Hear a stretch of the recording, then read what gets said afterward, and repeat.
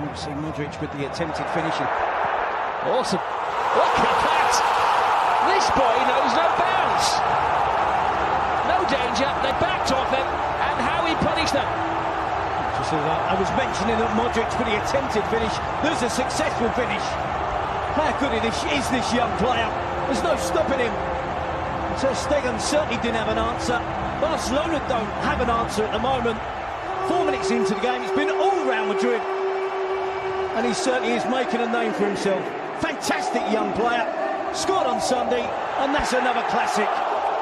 Well, there's nothing on, is there? He's 30 yards out. They back off him.